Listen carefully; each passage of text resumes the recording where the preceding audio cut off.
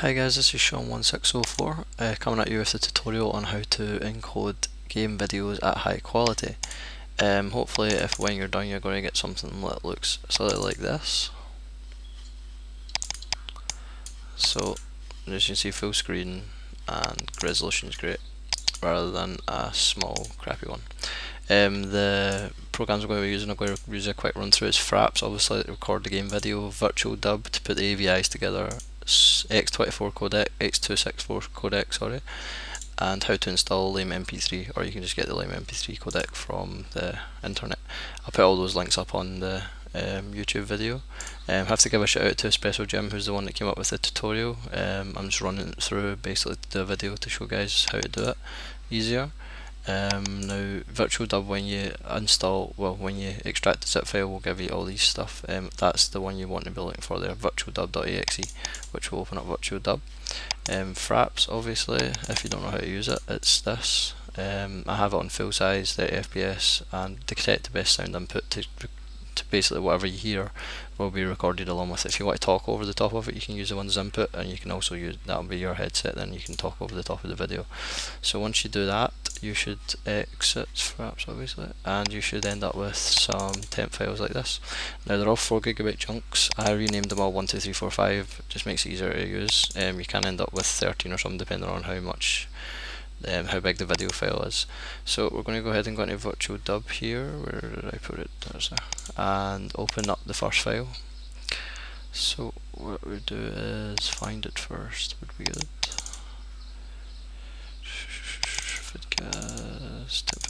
So we open up the first one, and that opens up in Virtual Dub. And then you go to append AVI segment, which just adds that one, adds the next segment onto this one. Make sure this down the bottom set ticked, don't auto detect uh, additional segments by Fernie, make sure that's ticked so that it puts them all together basically in a sequence. So we'll do that one in 3, 4, 5, 6, 7. So just double click that and then that's all your video files there put together. So the first we're going to do is two passes with the X264 encoder. So I have a workflow that um, Espresso Jim put up um, on gamereplays.org. Um, um, on the COH section under um, audio commentaries and shoutcasts. There's a workflow in here that if you want to use it, um, in the first page, all you do to use a workflow in this virtual dub is go to load processing settings, um, find where you've stored it, it's a VCF file, find out where you obviously download it, you put it up on FileFront. Just double click on that and it'll open up in here and that'll load the settings up for the first pass. The settings for the first pass is to set this to fast recompress for the video. For the audio, you basically want to turn the audio off for the first pass because you don't need it.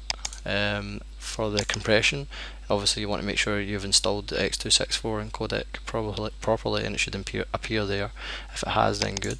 Um, go in here and set that, the, the pass to multipass, first pass fast, and then go into here and set that to 5 max frames refs.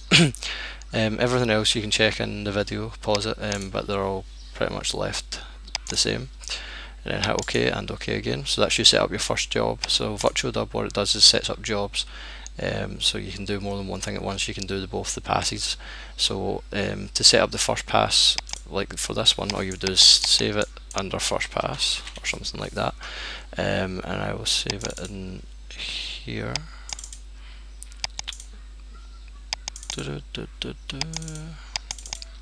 I have my window open, it's a nice day in Scotland, so you probably hear outside background noise.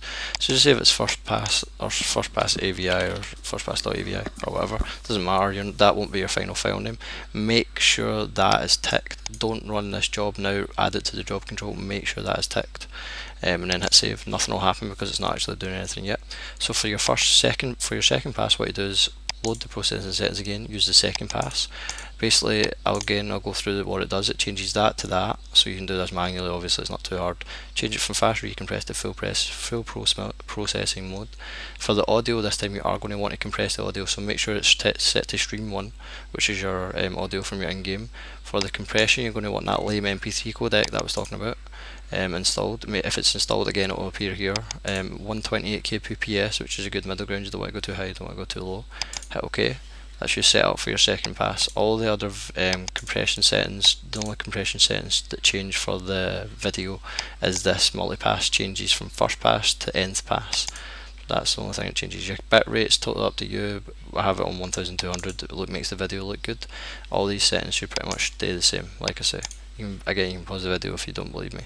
Hit OK again hit OK. That's your second pass setup so what you do is save as AVI change the file name to whatever you want it to be. So that was mine here for this particular video. I've already done it. Um, it didn't actually take too long for me to do. Um, only took me about an hour and a half because this video wasn't um, too long.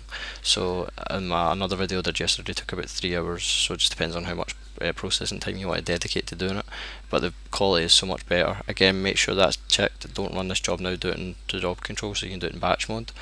Um, hit save. Again nothing will happen um, yeah, like I said, I've got quad core with 4 gig of RAM, so it just depends on how much you want to add to do this, but the video quality is so much better. So to actually run the two processes together, all you do is go into job control, and then there you can see them. So uh, that was one I did the other day that took about three hours. That was the one I did today, so it took half an hour for the first pass and just under 45 minutes for the second one. So that's pretty good actually. Um, this is it's just I just set it up again just to show you, um, and all you, all you do is hit start and then that would be it going. Um, like I say, um, I'm not going to do that obviously because there's no point it would take too long. Um, but you should visit the site, go into GR. Um, these are all the things that you need.